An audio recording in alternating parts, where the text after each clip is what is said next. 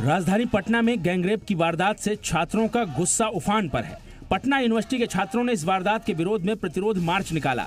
गांधी मैदान से सटे करगिल चौक पर बड़ी तादाद में छात्र जुटे और सरकार के खिलाफ नारेबाजी की।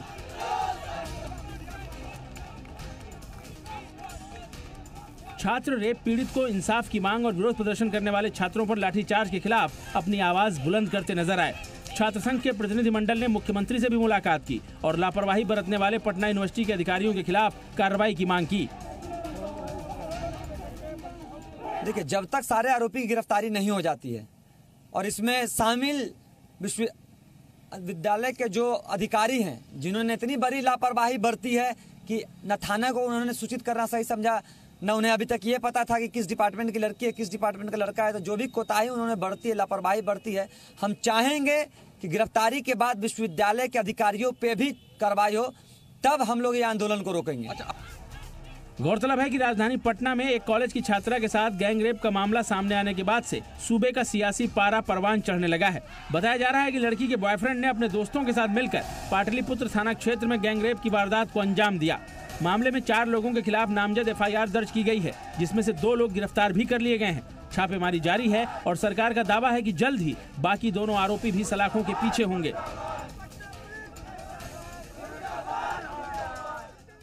बहुत जल्द इस घटना से जुड़े तमाम जो अपराधी हैं, वो सलाखों के पीछे होंगे और इसकी जल्द सुनवाई हो, इसको आधिकारिक तौर पर हम लोगों ने पार्टी मुख्यालय को अनुरोध भी किया है।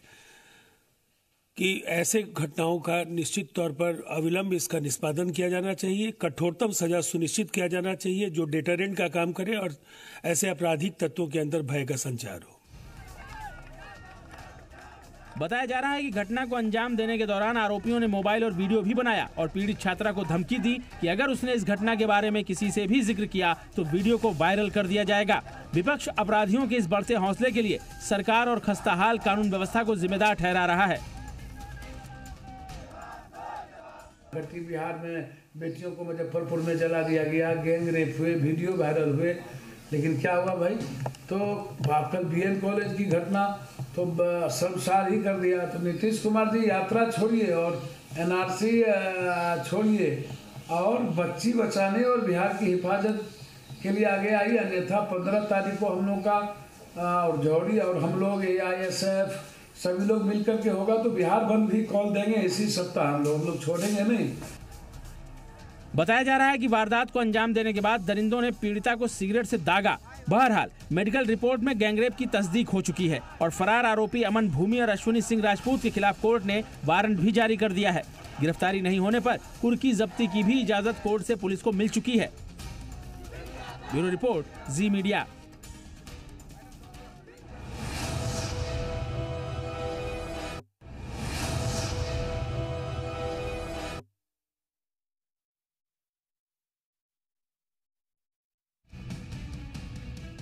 फिर एक बेटी हवस का शिकार बनी है फिर एक दरिंदे ने सारी हदें पार कर दी हैं। वाकया यूपी के फतेहपुर ज़िले के हुसैनगंज थाना इलाके का है बताया जा रहा है कि गाँव में ही पड़ोस के रहने वाले एक लड़के ने युवती को पहले अपनी हवस का शिकार बनाया और फिर उस पर मिट्टी का तेल छिड़क कर उसे आग के हवाले कर दिया। गंभीर हालत में घर वाले उसे लेकर जिला अस्पताल आए, जहाँ मौजूद डॉक्टर्स ने उसे प्राथमिक इलाज के बाद कानपुर के लिए रेफर कर दिया। हंड्रेड परसेंट बर्न आई थी से जली हुई मिट्टी तेल से। उसमें अपने स्टेटमेंट में जो यहाँ तहसीलदार वगैरह ले रहते हैं और सी ओ साहब थे उन्होंने ये भी कहा कि ज़बरदस्ती करने के बाद है उसने। मतलब उसके साथ दुष्कर्म हुआ था? हाँ दुष्कर्म करने के बाद ही पड़ोसी उनके चाचा वाचा होंगे वो लोगों ने किया होगा और इसके बाद मिट्टी के तेल डाल के आग लगा दी। उन्होंने आग लगा दी। हाँ जो लड़के का कहना था जो मेरे सामने बात हुई बाकी हंड्रेड परसेंट बर्ड थी सीरियस थी। मैंने उसका प्रॉपर ट्रीटमेंट किया। ट्रीटमेंट करने के बाद जो है खान को आरोपी 22 साल का मेवालाल बताया जा रहा है। रिश्ते में वो युवती का चाचा लगता है और उसके पड़ोस में ही रहता है। वारदात को अंजाम देकर आरोपी फरार हो गया है। वहीं मामले में पुलिस कुछ भी बोलने को तैयार नहीं है। Bureau report Zee Media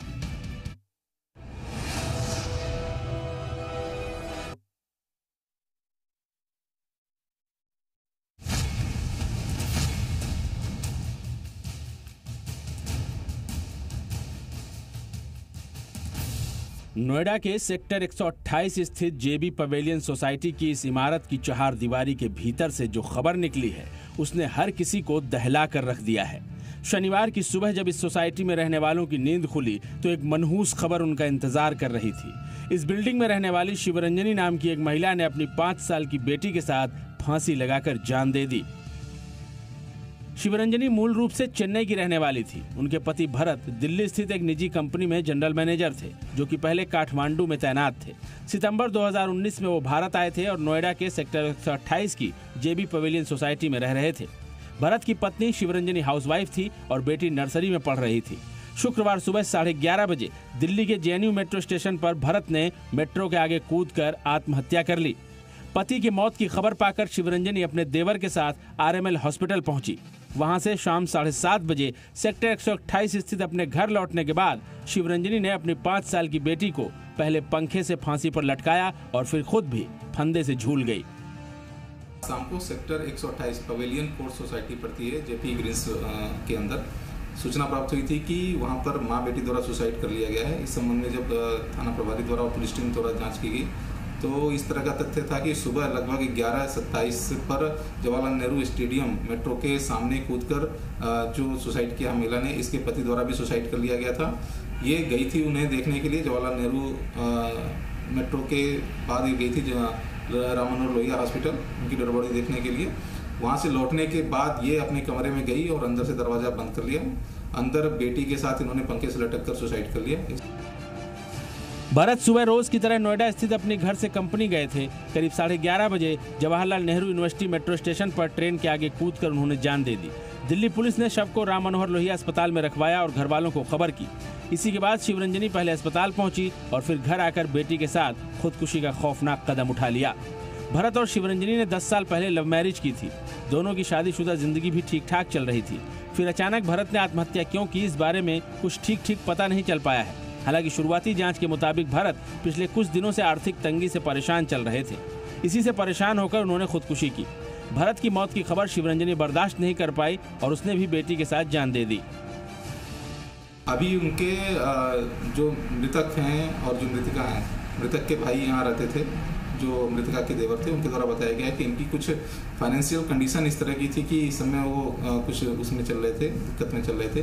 संभवतः इस वजह से सुसाइड किया गया है, लेकिन ये आगे पूरा विस्तृत जब जाँच की जाएगी, उसी समय कहा जा सकता है कि इसमें वास्तविक स्थिति क्या थी। अभी कुछ रोज पहले गाजियाबाद के इंदिरापुरम में एक दंपति ने अपने घर की आठवीं मंजिल से कूद कर जान दे दी थी। आत्महत्या से पहले उन्होंने अपने दो बच्चों की भी गला दबाकर हत्या कर दी थी। गाजियाबाद के पौष इलाके में हुई इस घटना ने खूब सुर्खियाँ बटोरी थी। अब नोएडा में एक परिवार के उसी तरह खत्म हो जाने की इस घटना ने लोगों को दहला कर रख दिया है। इस तरह से बढ़ती आत्महत्या की घटनाएँ ये बता रही हैं कि ज़िंदगी में बढ़ते तनाव को लोग बर्दाश्त नहीं कर पा रहे हैं और अपनी ज़िंदगी खत्म कर रहे हैं। Bureau report, Zee Media.